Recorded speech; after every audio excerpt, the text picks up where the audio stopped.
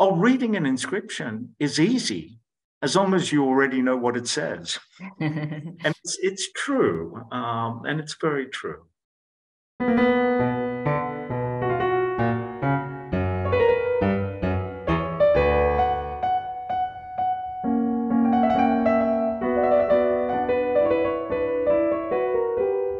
What's a day on one of the most exciting and famous archaeological sites in the world? Let's take a tour with the man running the show at the Athenian Agora. Hello, this is Anya Leonard, founder and director of Classical Wisdom, a site dedicated to bringing ancient wisdom to modern minds. You can now find us along with our free newsletter at classicalwisdom.substack.com. Today I'm speaking with John K. Papadopoulos, Distinguished Professor of Archaeology and Classics at UCLA in California and the newly appointed Director of the Athenian Agora excavations. But before we begin, a quick thank you to our Classical Wisdom Society members who make all of this possible. If you'd like to become a member and help support our work, please go to classicalwisdom.substack.com and click subscribe. Now, on to the Athenian Agora. Okay, well, first, I'd like to congratulate you on your recent appointment as the Director of Excavations at the Athenian Agora, which is very exciting news. And I really want to get into the details of the excavation and, and about the archaeology that's happening over there. Um, but first, I think we could do a quick recap, um, a short history of the Athenian Agora itself to catch up everyone to speed. Well, thank you. Thank you for uh, for, for interviewing me. Um, the Athenian Agora is one of the oldest and largest excavations of the American School of Classical Studies uh, at Athens. It began in 1931 um, and it's continued with only uh, a break really for the Second World War uh, ever since.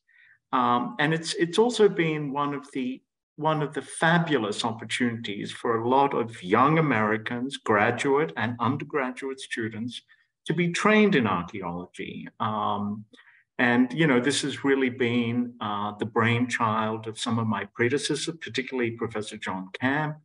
Um, so um, I think the best way of recapping the history is, is really talking about the early directors. Uh, the first director, T. Leslie Shear, was ad, an administrative dynamo. I mean, the guy had the wherewithal to purchase 360 something houses. It's, I think, I think the figure is 366, if I'm not mistaken, to demolish in order to dig for the Agora. Uh, so I'm really standing on the shoulders of giants. I mean, Homer Thompson, who took over after the Second World War, really saw the excavations through a very difficult period. He was the one responsible for building, re- refurbishing, um, renovating, reconstructing the Stoa of Attalos and making it into the Agora Museum. Uh, T. Leslie Shear Jr. Uh, made some really important contributions uh, and discoveries, not least of which was the Stoa Basileios, the royal Stoa, where you know Socrates had to present himself to the Archon uh, to see if there was enough evidence against him. And my predecessor, John Camp, um, really had that wonderful ability um, to synthesize. I mean, his book on the Agora, the overview of the Agora of Athens, his books, in fact, um, together with his The Archaeology of Athens, are sort of textbooks. And he has that wonderful ability to be able to synthesize this huge body of information and really make it uh, accessible to a much larger um, public. So I'm really like this midget that's standing on these shoulders of giants, uh, which is which is great. And so the site itself, uh, what's all included in what what was the importance of it historically? Well, the site the site was always what was really important, and um, this is what the the early excavators were after. What they really wanted was digging democracy uh, they wanted to find the, the home of the radical democracy. Um, and, and it was both the center of the radical democracy of Athens in the fifth century BC. Um, it's where many of the important public buildings uh, were located. Um, but it was also, of course, the commercial economic center. It's where the marketplace was. So if you actually go to the sort of smelly markets, uh, particularly the fish market or the meat market today in Athens, that gives you a sense of what it must have been like. You could just about find anything there.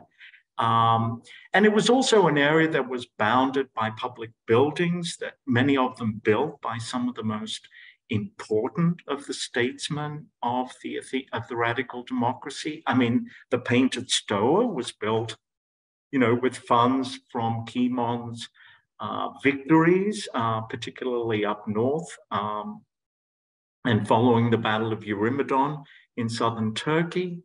Um, so there were these wonderful buildings, and you know, the Stoa Poikile was where the, the Stoics got their name from. I mean, this is, um, you know, where this whole school of philosophy set up. So it was a public square. It was a zocalo. It was it was this wonderful place where people met, interacted, and bought all sorts of stuff.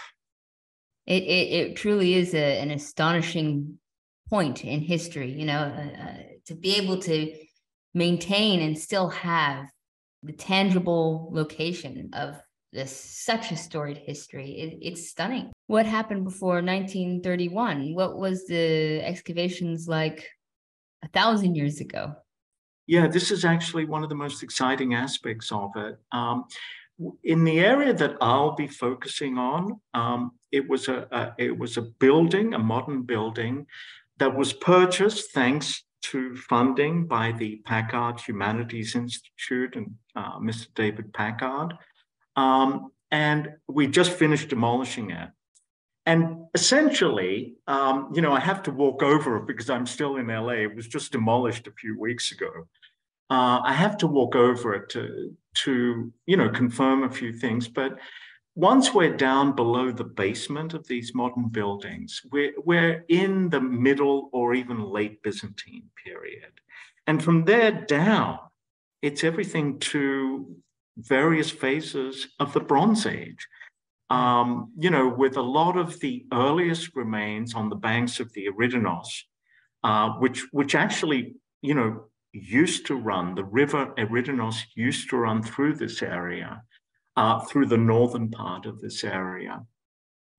And on the banks of the Eridanos, the earliest remains really go back to Middle Helladic. I mean, we're talking about 2000, 2200, down to 1600 BC. So it's not just, um, you know, the early Iron Age, the Bronze Age, the classical, the archaic, the Hellenistic, the Roman, but it's the late antique, the Byzantine and post-Byzantine.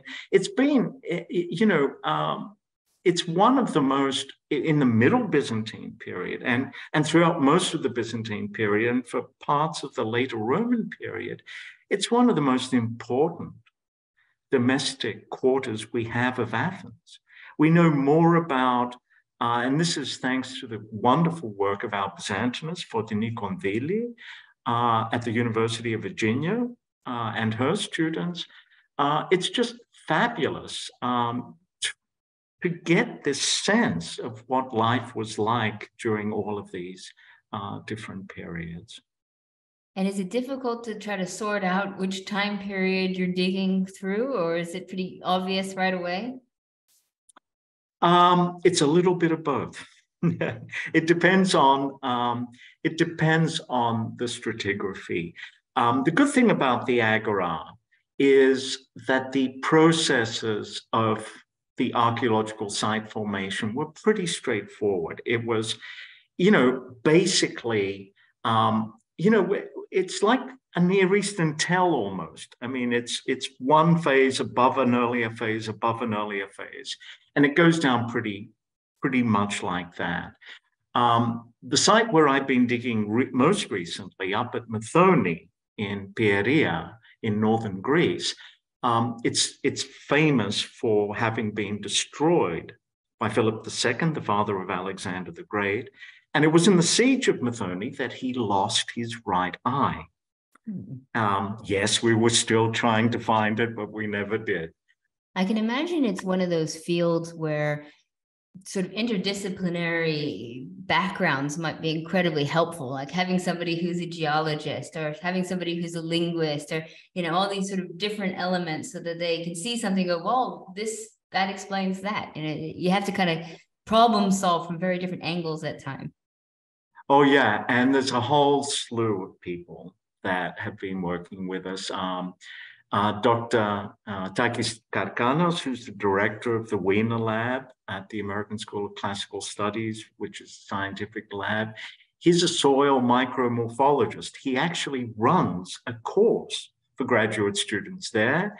And he also, I've asked him to teach our undergraduates and volunteers to give them uh, uh, uh, uh an introduction to his techniques. I want to do some LIDAR and a little more geomorphology and ge geophysics. Um, uh, particularly, there was some really wonderful coring work that was done by Al Ammerman and his collaborators in the past that really did determine where part the, the flow of the Eridanos River was. Uh, and that's really exciting because the Stoa Poikili, one corner of it was actually in the river. And in order for that to happen, they had to recanalize, uh, rechannel the river in the classical period, which they did. Um, there, you know, I've got, I, you know, I've been, I've embarked on a huge um, project uh, with my colleague and friend Brian Damiata. Uh, to date, um, all the late Bronze and early Iron Age burials using human bone collagen uh, through AMS uh, C14 radiocarbon dating. We've actually analyzed, um, you know, it's it's just on 100 samples. We've done three quarters of them um, to get an absolute chronology um, of the late Bronze and early Iron Age period through human bone collagen uh, using radiocarbon dating you know, we have a full-time conservation uh, conservator and she has interns. Um, and then, of course, we have the specialists who do all the different, you know, types of pottery, people like Susan Rotroff, who's the doyen of the study of Hellenistic pottery, Kathleen Lynch, who does much of our archaic and classical pottery.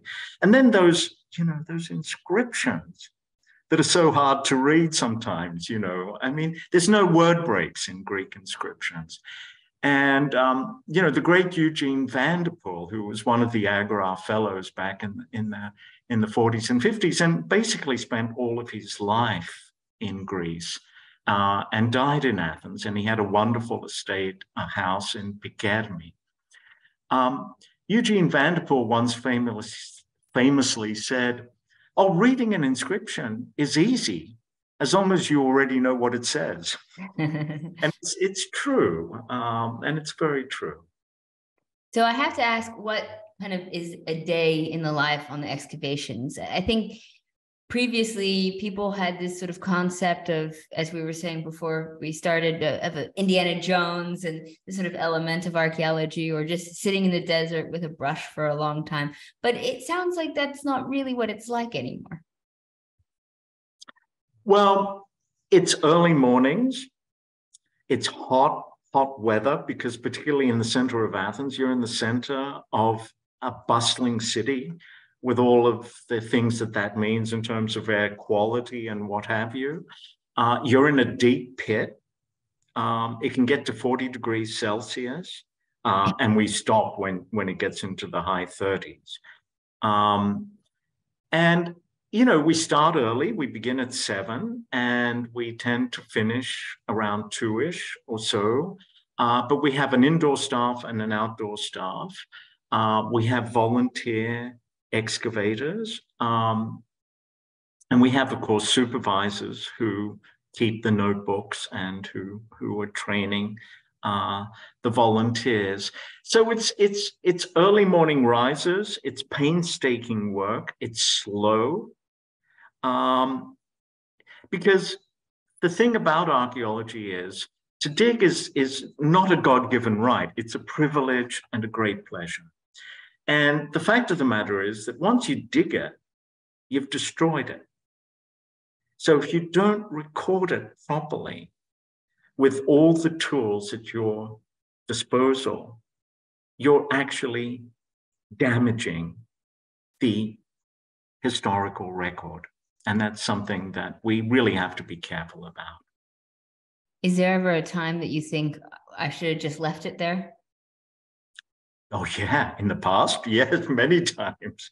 Um, uh, you know, it just happens because, and that's how you live and learn um, by making mistakes. We're not perfect. And uh, there have been many times where, you know, in hindsight, I had wished I had dug a context at sites that I worked at previously um, differently, but you don't get that chance. No, it's it's a a once time every time. But if you record carefully enough, the good thing is you can reconstruct, and that's that's really the important thing. So if you've got a good um, photographic record, photogrammetry, drawing, um, you've taken really careful elevations, you can really reconstruct a lot and say, well, this is where my mistake was, and this is what I should have done, and this is probably what it's doing. So you can reconstruct after the event. I feel like I think there's like a bigger lesson in that as well. Um, but what would you say is some of the most exciting finds that you've had or surprising discoveries? In the Agora or generally? Uh, let's start with the Agora. Um, well, the Agora, you know, the, the really exciting thing is basically what I started talking about before the fact that you've got everything from the Bronze Age. I mean, we have Mycenaean chamber tombs, we have early Iron Age burials, we have wells of all these different periods where people have thrown all this rubbish in where when the well has become disused. These are time capsules. And because they're anaerobic, which is just a big word that means with little oxygen around, um, organic material is really well preserved. Um, you know, these are wonderful time capsules. So the really exciting thing about the Agora is really is really giving us this palimpsest of all these different um, periods. Now, if if if you're asking what's the most exciting single find, well, Fotini Kondyli will tell you what her most exciting find was in terms of the Byzantine pottery. Susan Rotroff could tell you what the most exciting and precious thing was for her for the Hellenistic period. I can talk about the early Iron Age because um, that's what I've been publishing in the past. Uh, Kathleen Lynch can tell you about the archaic and classical period. You had mentioned previously that you've been you've worked on lots and lots of archaeological sites all around the world. Um, which were some of the most exciting of the other ones besides the Agora? Well, the ones that I co-directed projects um, uh, was uh, uh, prehistoric, um, late Bronze, early Iron Age burial tumulus in Albania, the site of Lofkend, and we published a massive two-volume book on that. That was 2004 to 2008. Uh, from 2012 onwards, I've been co-directing uh, the Ancient Methoni Archaeological uh, Project with Sarah Morris at UCLA and with Matthaios Bessios, Athina Athanasiadou, and Konstantinos Noulas of the Greek Ministry of Culture. Um, this is, of course, where, you know, Philip, this was the site that Philip destroyed, a wonderful, uh, and because of the destruction, it was bad news for the Mycenaeans, but it was great for archaeology because you dig and you're in archaic levels. There's no later remains on it. You're into these incredible early periods just straight off the bat. Um, so it's it's it's really it's really exciting. Um, and then um, I was also involved in the repatriation of the Francavilla Marittima project. This was material that was looted from the extramural sanctuary of Sybaris um, at Francavilla Marittima in northern Calabria. Uh, and this was an international project involving the J. Paul Getty Museum, uh, the University of Bern, the Ny Carlsberg Glyptotek in Copenhagen, and the Italian Ministry of Culture. Um, and this was a really wonderful project because we actually, um, because there were also systematic excavations at Francavilla Marittima, we were able to make joins between pottery found in the systematic excavations with that looted at the Getty Museum or in Bern wow. or in or in Copenhagen. So it was a real, it was a real wonderful project. Thanks to the good services of Piero Guzzo uh, and our Italian colleagues. Um, but you know, the place that I really loved in Greece the most was my first excavation at Toroni in Chalkidiki. Um, I just fell in love with the place. Um, and it was a pristine landscape because the modern road down to Chalkidiki, down to the bottom of the second peninsula of Chalkidiki, was only really opened in the 70s. Uh, and the excavations began by my one of my supervisors, Alexander Cambitoglou, in 1975. Uh, and I started there in, in the late 70s. Um, and I worked there from, you know, 79 to 95 um, eventually becoming the deputy director and the field director of the excavations. Um, but actually, I learned my trade by digging in Australia. It was on Aboriginal sites. Um, and in fact, when I was um, an undergraduate, I would have been very happy to continue working um, in Australia for the rest of my life uh, I just loved Aboriginal uh, rock art. Uh, it, it, it, was just so stunning, and also being in in the landscape um, and and listening to Indigenous people talking about their landscape. But then, as an undergraduate, I was invited to go to Toroni. Um, I got to Greece. It was my first ever visit to Greece. I had never been before. Uh, even though I'm a Greek citizen and I speak fluent modern Greek, um, because I couldn't speak a word of English until I went to school in Australia, um, I, it was just so eye opening. And it was just so much fun being there that I thought, hmm, this is great. Yeah, that's quite a journey and uh, quite a roundabout journey back to Greece in a way. Mm-hmm.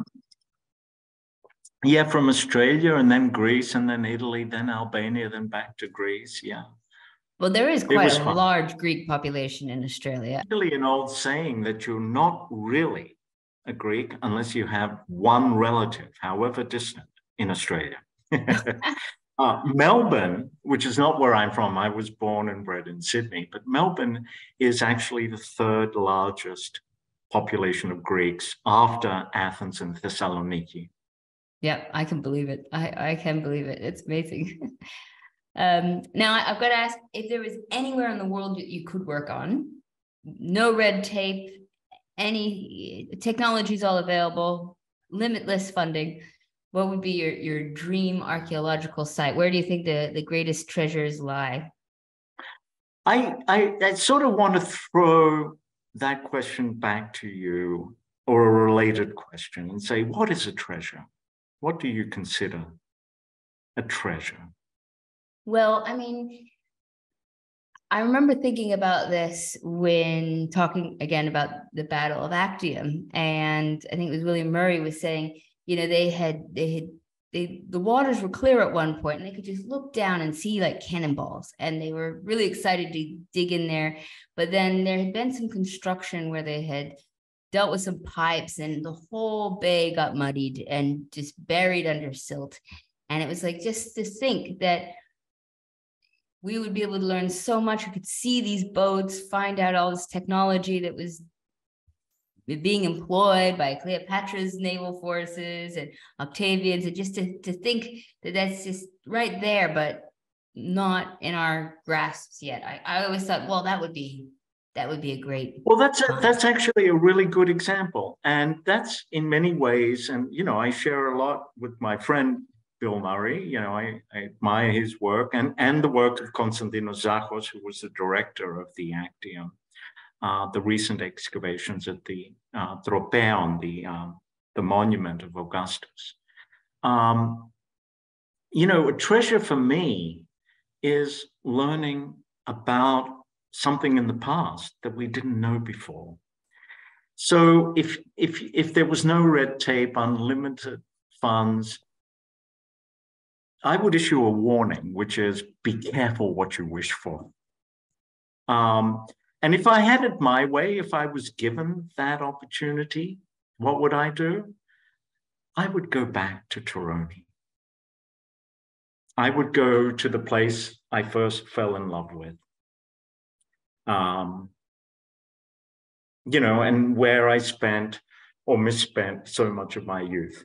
I'll I'll have to check it out myself. Uh, I'd love to go up there and, and oh, have a look. Oh, there's no finer beach anywhere in Greece. You know, this sounds like a challenge that I am going to accept.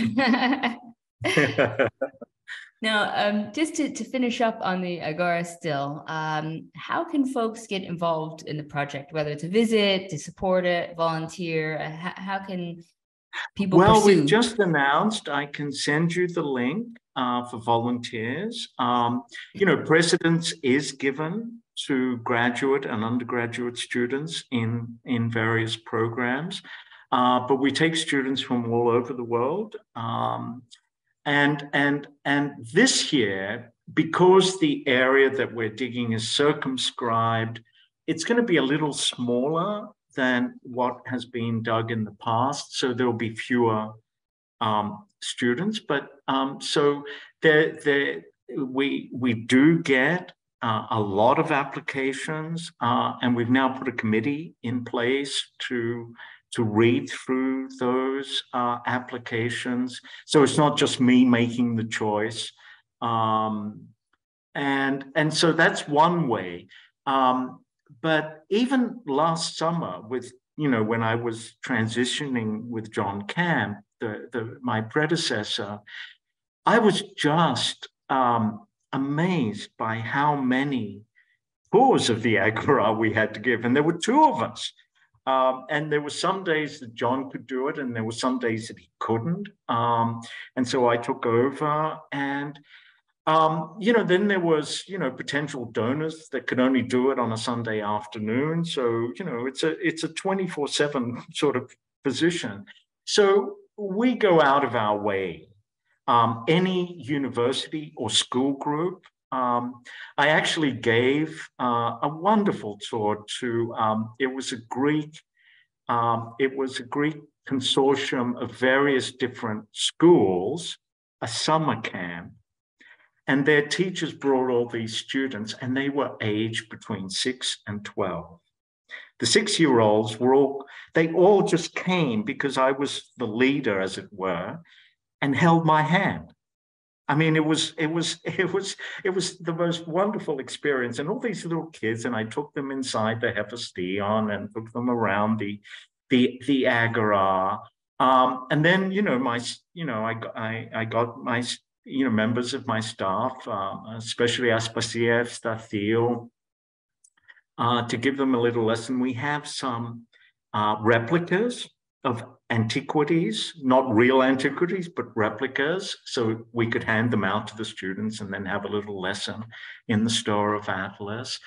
Um, but people can just get in touch with, you know, either the school or with me directly or with the Agora staff directly.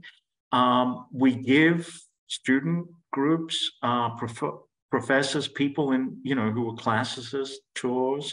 Um, I recently had uh, a gentleman who was um, uh, a, a, former journalist who was writing a piece on democracy and really wanted a tour. And I was very happy to do that. And then we kept on um, you know, a whole tirade of email messages for weeks and weeks and weeks about details comparing the Athenian democracy to the American democracy. Uh, so, so it's it's very straightforward. Um, and fortunately, now I have a new assistant to the director, um, Dr. Irini Dimitriadou, who'll be based in Athens uh, all the time, and she, you know, she will be able to give tours uh, with us, Aspasia Evstathio, uh, who's our registrar, um, you know, whenever, whenever needed. Well, wonderful. Um, and I, I fear you're going to be seeing me and my daughter in the not too distant future. I'll be messaging you to make sure we get to have a look because uh, it's just such a treasure trove to be able to access. Um, and I love the idea of, of people from around the world getting to enjoy this sort of rich history and and get to bear witness to what you guys are doing there and, and what you're discovering. Yeah, and people love that this is, you know, the world's first democracy. And, um, you know, they really, they're, you know, just people who look over the fence to look at the excavation down where we're digging now, just north of Hadrian Street. And there was this older gentleman, and he was Greek, um, and he was just, he was retired. And he said, This is the painted stoa, isn't it? And I said, Yes. And he was so like, there were almost tears in his eyes. I mean, he was, and, and, you know, when you see that sort of enthusiasm, um, you know, it's, it's uplifting. Uh, it's wonderful. Beautiful. Thank you so much, John.